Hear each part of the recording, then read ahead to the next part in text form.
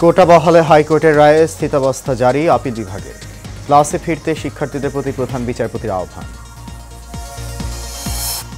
আদালত নয়, সমাধান চাই সরকারের কাছে, বলছেন আন্দোলনকারীরা। বাংলা ব্লকেডে অচল প্রায় রাজধানী। এবং বেইজিংয়ে প্রধানমন্ত্রী শেখ হাসিনা, লি কিয়াং বৈঠক অনুষ্ঠিত, একুশটি সমঝোতা সরাসরি সাতটি প্রকল্প গ্রহণের ঘোষণা।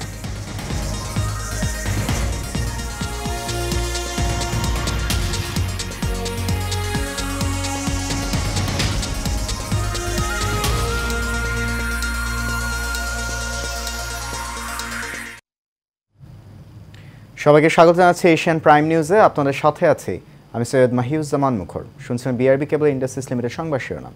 যাচ্ছে পুরো খবরে। প্রথম ও দ্বিতীয় শ্রেণির সরকারি চাকরিতে মুক্তিযোদ্ধা কোটা পদ্ধতি বাতিলের সিদ্ধান্ত অবৈধ ঘোষণা করে হাইকোর্টে দেয়া রায়ের উপর এক মাসের জন্য স্থিতাবস্থা জারি করেছেন আপিল বিভাগ। এই আদেশের ফলে মুক্তিযোদ্ধা কোটা বাতিল করে দু হাজার আঠেরো সালে সরকারের জারি করা পরিপত্র বহাল থাকবে বলে জানিয়েছেন অ্যাটর্নি জেনারেল। আন্দোলনরত শিক্ষার্থীদের ক্লাসে ফিরে যাওয়ার আহ্বান জানিয়েছেন আপিল বিভাগ। বিস্তারিত থাকছে রকিব মানিকের রিপোর্টে। ক্রমে জোরালো হচ্ছে কোটা বিরোধী আন্দোলন অচলাবস্থা তৈরি হয়েছে দেশের শিক্ষাঙ্গনগুলোতে। এমন পরিস্থিতির মধ্যেই উচ্চ আদালতের রায়ের উপর এক মাসের জন্য স্থিতিবস্থা দিয়েছেন আপিল বিভাগ। সকালে বিচারপতির নেতৃত্বাধীন পাঁচ বিচারপতির আপিল বেঞ্চ এই আদেশ দেন। আদালতে আবেদনের পক্ষে শুনানি করেন আইনজীবী শাহ মঞ্জুরুল হক। তিনি বলেন, মুক্তিযোদ্ধা কোটা বহালের রায়ের উপর আপিল বেঞ্চ চার সপ্তাহের স্থিতিবস্থা দিয়েছেন। সরি চার সপ্তাহের জন্য স্ট্যাটাস হয়েছে।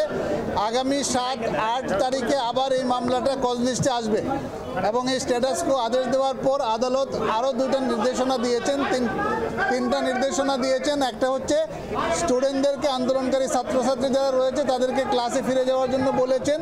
রাষ্ট্রপক্ষের আইনজীবী attorney general A M Aminuddin বলেন, আপিল বিভাগের আদেশের ফলে দু হাজার আঠারো সালের কোটা পদ্ধতির পরিপত্র বহাল থাকবে। একই সঙ্গে রাষ্ট্রপক্ষ ও শিক্ষার্থীদের উচ্চ আদালতের রায়ের বিরুদ্ধে লিভ টু আপিল করতে বলেছেন আদালত। যারা আন্দোলন করছেন, তাদেরকে আমি অনুরোধ করব তাদেরকে যেহেতু তাদের সুপ্রিম কোর্ট এটা বিবেচনায় নিয়েছেন এবং সুপ্রিম কোর্ট একটা কথা বলছেন তাদের যদি কোনো গ্রিভান্স থাকে, তারা যেন এখানে এসে পক্ষ হয়ে তারা বলতে পারে। সেটাও কিন্তু তাদের আদেশে এটা আছে। অতএব এখন আর কোনো যৌক্তিক তাদের কোনো কারণ নেই।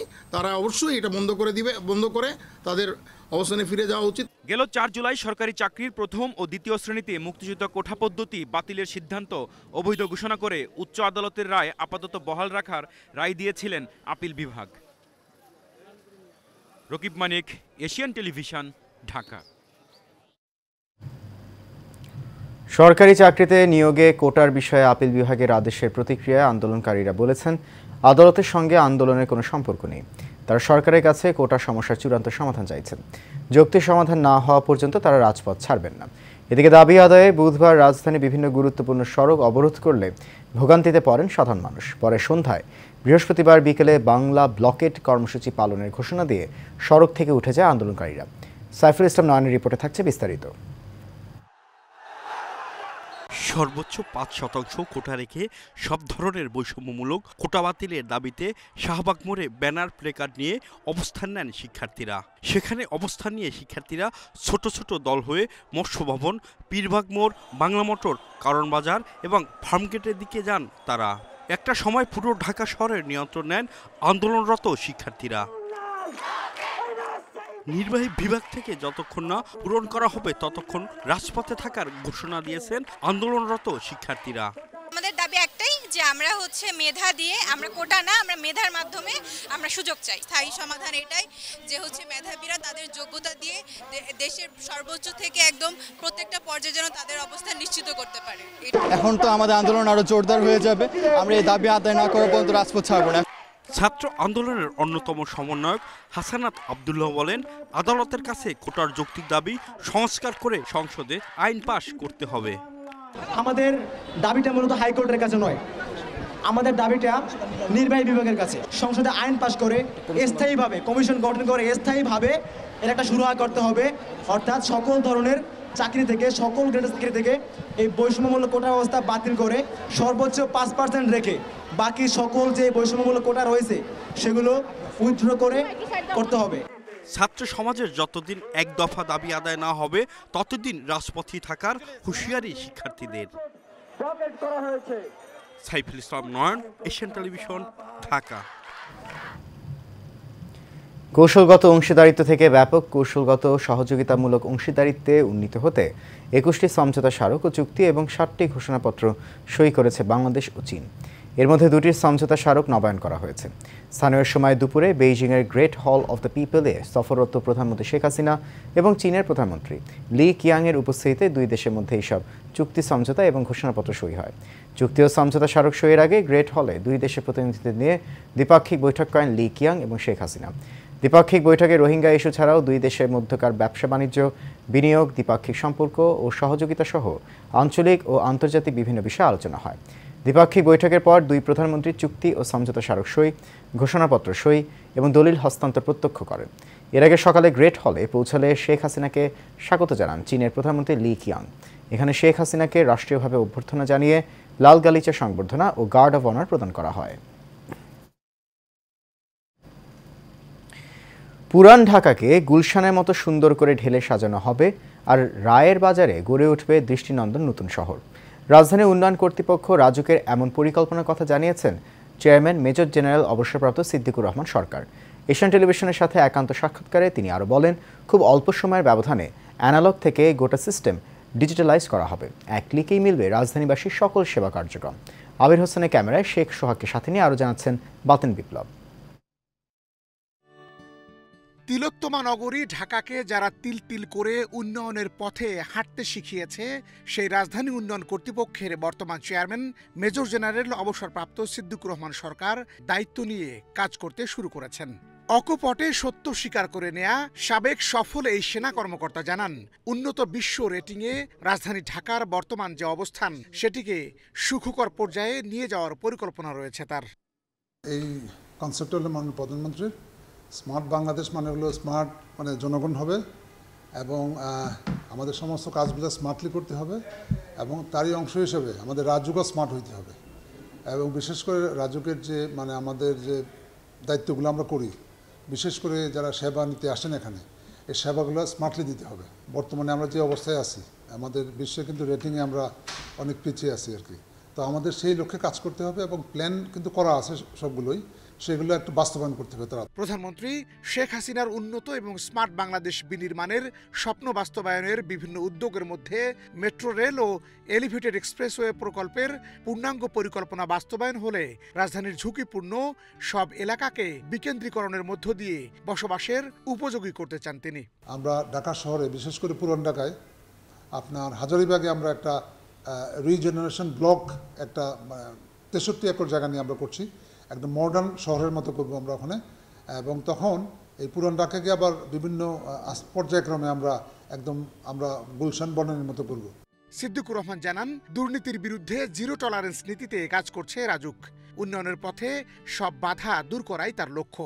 দুর্নীতি তো আমরা আমাদের ইন্টারনাল যেসব সমস্যা আমরা পাচ্ছি আমরা কিন্তু ব্যবস্থা নিচ্ছি। এবং আমাদের কথা একটাই যে আমরা জিরো টলারেন্স নিয়ে যাব এবং এই বিষয়ে দুদক দেখছেন এবং আমরা যেসব অনিয়ম অথবা যেগুলা ব্যত্যয় দেখছি আমরা এটা কিন্তু আমরা ইনস্ট্যান্ট আমরা বদলি করছি। হাতির ঝিল প্রকল্পের আদলে ঢাকায় পঞ্চান্নটি দৃষ্টিনন্দন পুকুর করার প্রকল্পও হাতে নিচ্ছেন তিনি। এলিভেটেড এক্সপ্রেস কাজ যখন হয়ে যাবে পিলারগুলো যখন হয়ে যাবে এটা নতুন করে আবার সাজাবো। একইভাবে ঢাকা শহরে আমরা পঞ্চান্নটা পুকুর আমরা প্রজেক্ট নিচ্ছি বিভিন্ন জায়গায় এবং কয়েকটা বড় বড় পার্ক করছি। যেমন মতিঝিলে বাংলাদেশ ব্যাংকের পেছনে আমরা বেশ বড় একটা এলাকা নিয়ে মানে প্রধানমন্ত্রীর একটা আদেশে আমরা একটা বড় পার্ক নির্মাণ করছি ওখানে। এবং আমরা পূর্বাচলে একটা পার্ক করছি। তারপরে আমরা শেখ রাসেল একটা পার্ক করছি ইয়াতে কেরানীগঞ্জে। এবং যাতে করে পঞ্চান্নটা পুকুর যখন হয়ে যাবে আমাদের ঢাকার একটু খোলামেলা জায়গা পাওয়া যাবে ওয়াকওয়ে থাকবে এবং সব দিক দিয়ে আরও সুন্দর হবে। চার কোটি মানুষের পদভারে মুখরিত রাজধানীকে নাগরিকদের স্বপ্নের মতো সাজিয়ে দেওয়ার মানসিকতা নিয়ে পূর্ণ মেয়াদে নিজেকে বিলিয়ে দিতে চান এই সেনা কর্মকর্তা। Baten Biplob, Asian television, Dhaka. মানসিক স্বাস্থ্য বিকাশে আর্থসামাজিক অবকাঠামো উন্নয়নের পাশাপাশি সুশিক্ষা, ধর্মীয় ও দেশপ্রেমের চেতনায় উদ্বুদ্ধ হওয়ার আহ্বান জানিয়েছে স্থানীয় সরকার পল্লী উন্নয়ন ও সমবায় মন্ত্রী মোহাম্মদ তাজুল ইসলাম। একই সাথে মাদকের ভয়াবহ ছবল থেকে দেশ বাঁচাতে সবাইকে একসাথে কাজ করারও আহ্বান জানিয়েছেন তিনি। সকালে রাজধানীর সিরডাপ মিলনায়তনে এথেনা লিমিটেড আয়োজিত মাদকাসক্তি অপরাধ নাকি মানসিক রোগ শীর্ষক সেমিনারে মাদকদ্রব্য নিয়ন্ত্রণ অধিদপ্তরের মহাপরিচালক, পুলিশের ঊর্ধ্বতন কর্মকর্তা, মনোরোগ বিশেষজ্ঞ, সমাজকর্মী বিপিজিএমই এর কর্মকর্তা সহ সাংবাদিক ও তরুণ উদ্যোক্তারা অংশ নেন। এ সময় বক্তারা মাদকদ্রব্য সরবরাহ বন্ধে পুলিশকে আরও শক্তিশালী ভূমিকা নেওয়ার আহ্বান জানান।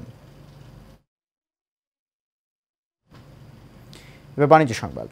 বিশ্বমানের ইলেকট্রিক্যাল ও ইলেকট্রনিক্স পণ্য মানুষের দোরগোড়ায় পৌঁছে দিতে জয়পুরহাটের আক্কেলপুরে যাত্রা শুরু করল দেশের ইলেকট্রনিক্স জায়ান্ট ওয়ালটনের এক্সক্লুসিভ পরিবেশক শোরুম আপন এন্টারপ্রাইজ আনুষ্ঠানিকভাবে ওয়ালটনের এক্সক্লুসিভ শোরুম উদ্বোধন করেন ওয়ালটনের সিনিয়র এক্সিকিউটিভ ডিরেক্টর ও চিত্রনায়ক আমিন খান এবং ওয়ালটন ডিস্ট্রিবিউটর নেটওয়ার্কের head of sales Firoz Alam.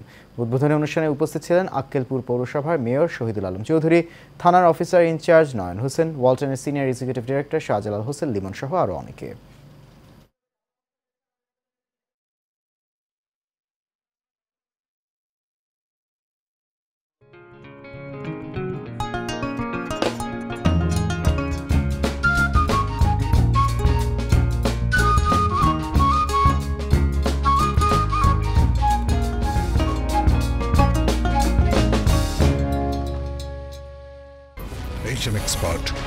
Five hundred সিডব্লিউআর স্বাধীনতার সুবর্ণ জয়ন্তীতে নতুন বাংলাদেশ গড়ার প্রত্যয় HM steel B five hundred CWR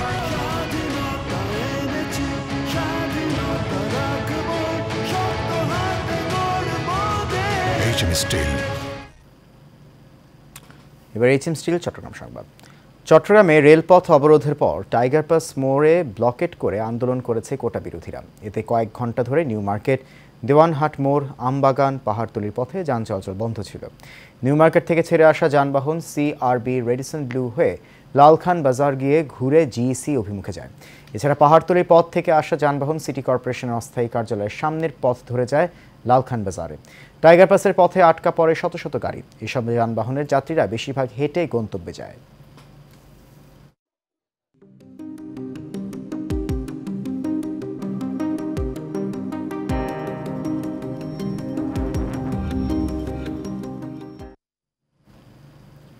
এবার সিওডিল প্রেজেন্স হেলথ অ্যান্ড বিউটি। দেশের উত্তর পূর্বাঞ্চলে অতিবৃষ্টি ও উজানের ঢলে বন্যাপ্রবণ প্রধান প্রধান নদ নদীর পানি বাড়ছে। সারা দেশে বন্যা পরিস্থিতির অবনতি হয়েছে। দেখা দিয়েছে বিশুদ্ধ পানির অভাব, মলমূত্র ও রাসায়নিকের কারণে কলেরা, ডায়রিয়া সহ নানা রোগ বালায় বন্যা পরিস্থিতি আরও দীর্ঘস্থায়ী হলে এই ধরনের রোগের প্রকোপ আরও বাড়তে পারে বলে ধারণা করছেন সংশ্লিষ্টরা। বিস্তারিত থাকছে রিপোর্টে। গত কয়েকদিন ধরে দেশের উত্তর পূর্বাঞ্চলের প্রধান নদীগুলোর ও ধরলার পানি বিপদসীমার উপর দিয়ে প্রবাহিত হচ্ছে। প্লাবিত হয়ে পড়েছে নদ নদী অববাহিকার চর ও নিম্নাঞ্চল। এতে করে দেখা দিয়েছে কলেরা, ডায়রিয়া সহ পানিবাহিত নানা রোগবালাই। আবার অনেক মানুষ একসঙ্গে থাকার কারণে শ্বাসনালীর প্রদাহ, ফ্লু, হাঁপানি, স্ক্যাবিস, ফুসকুড়ি, ফোড়া রোগের প্রাদুর্ভাব দেখা দিয়েছে। বন্যাজনিত কারণে তো বহুত রোগ হতে পারে। যেমন একটা প্রথম কথা দূষিত পানি নাই, খাওয়া নাই। তাহলে খাওয়ার জন্য, দূষিত পানির জন্য যত ডায়রিয়া থেকে রোগ, পানিবাহিত রোগ সবই হতে পারে। ডায়রিয়া হয়, কলেরা হয়, ব্যাসিলাইটিসেন্টি হয়, যেমন যে জন্ডিস জাতীয় এই ভাইরাস, ই ভাইরাস, এগুলো কিন্তু পানিবাহিত রোগ। একটা হলো খাদ্য থেকে হয়, পানীয় থেকে হয়। এছাড়া এই যে পানি, নোংরা পানি, পচা পানি, মানুষ এগুলি ব্যবহার করে, আমাদের গোসল করে, যত রকমের চর্ম রোগ, এগুলো দিয়েই তো হয়। এগুলো তো পানিবাহিত, এইভাবে তো হইতেই পারে আর কি। শুধু মানুষ তো না যে কোনো প্রাণীর গবাদি পশু বলেন, এই যে গরু, ছাগল, মহিষ ইভেন হাঁস, সবার জন্যই তো প্রবলেম ইভেন অনেকে ঘর বাড়ি নষ্ট হয়ে এগুলো তো থাকার প্রবলেম খাওয়ার প্রবলেম পানীয়ের প্রবলেম রোগ বেদের প্রবলেম ডায়রিয়া জনিত কত রকমের রোগ হচ্ছে, এগুলো তো মারাত্মক সমস্যা হচ্ছে আর কি। আমরা দেখলাম এবার যেখানেই বন্যা হচ্ছে, এই রোগগুলো কিন্তু ব্যাপক আকারে বেড়ে যাচ্ছে। একই সাথে বন্যা পরবর্তী সময়ে নানা সংক্রামক, অসংক্রামক ব্যাধির শিকার হয় মানুষ। বন্যা কবলিত এলাকায় প্রায় চল্লিশ শতাংশ মৃত্যুর কারণ বন্যা পরবর্তী ডায়রিয়াজনিত রোগ। তাই বিশুদ্ধ পানির সরবরাহ নিশ্চিত করার পাশাপাশি বন্যা কবলিত এলাকায় পানি বিশুদ্ধকরণ বড়ি, স্যালাইনের সরবরাহ নিশ্চিত করা জরুরি। বিশুদ্ধ পানি যেখানে পাওয়া যায়, প্রশাসন দিবে, সরকার দিবে বা স্থানীয় প্রতিনিধি যারা বা বিভিন্ন এনজিও তারা এগুলো করতে পারে। তারা এগুলো নেওয়ার ব্যবস্থা করবে তারা নিজেদেরকে যারা ওই এলাকায় থাকেন, তারা নিজেদেরকে সতর্ক রাখতে হবে আর কি। যে কোনো পানীয় যেন পানের খাওয়ার ব্যাপারে যেন সতর্ক থাকেন, যে কোনো বয়সে, ছোটো বাচ্চা থেকে বয়স্ক। বিশেষ করে যারা রুগী, তাদের ঝুঁকিটা তো আরও বেশি। সুতরাং সবাইকে তো সতর্ক থাকতেই হবে আর কি। বন্যা যাতে না হয়, তার জন্য তো সেটা সরকারি সিদ্ধান্তের ব্যাপার। নদী থেকে শুরু করে কত কিছু নদী, ট্রেজিং ট্রেজিং, এগুলো কত নদী সব ভরা হয়ে নদী তো বলি না, তার নাব্যতা হারায় পেয়েছে একটু পানি হলে একেবারে ভরে জায়গা ওভারফ্লো হয়ে যায়। এগুলো তো হচ্ছে, এগুলো তো সরকারিভাবে সিদ্ধান্ত নিতে হবে। করছে আশ্রয় কেন্দ্রে এনে থাকে। খাওয়ার ব্যবস্থা পানীয়, এটা হলো এক নম্বরে। প্লাস বাসস্থান যে যেভাবে পারে ম্যানেজ করতে হবে আর কি কারণ রোগ ব্যাধি হয়ে, ভোগান্তি হলে তো ওখানে চিকিৎসারও তো অসুবিধা। মাল্টিপল মেডিকেল টিম করতে পারে। টিম নিয়ে তাদের যা দেখতে হবে, তাদের ট্রেস করতে হবে, কী কী রোগ আছে এগুলো ডিটেক্ট করতে সেই অনুযায়ী চিকিৎসাও দিতে হবে। শিশুর নিউমোনিয়া, শ্বাসনালীর প্রদাহ কনজাংটিভাইটিস মেনিনজাইটিস ত্বকে ছত্রাক সংক্রমণে বেশি ভুগতে পারে। তাই দুর্যোগ ভ্যাকসিন প্রদান, সঠিক সময়ে অ্যান্টিবায়োটিক পরিচ্ছন্নতা, সঠিক পুষ্টি নিরাপদ খাবার এই রোগগুলোকে প্রতিহত করতে পারে।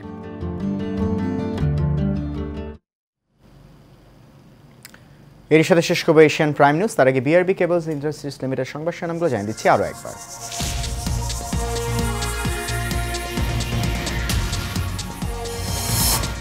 কোটা বহালে হাইকোর্টের রায়ে স্থিতাবস্থা জারি আপিল বিভাগের। ক্লাসে ফিরতে শিক্ষার্থীদের প্রতি প্রধান বিচারপতি আহ্বান। আদালত নয়, সমাধান চাই সরকারের কাছে বলছেন আন্দোলনকারীরা। বাংলা ব্লকের অচল প্রায় রাজধানী। এবং বেইজিংয়ে প্রধানমন্ত্রী শেখ হাসিনা লি কিয়াং বৈঠক অনুষ্ঠিত। একুশটি সমঝোতা শুরু সাতটি প্রকল্প গ্রহণের ঘোষণা।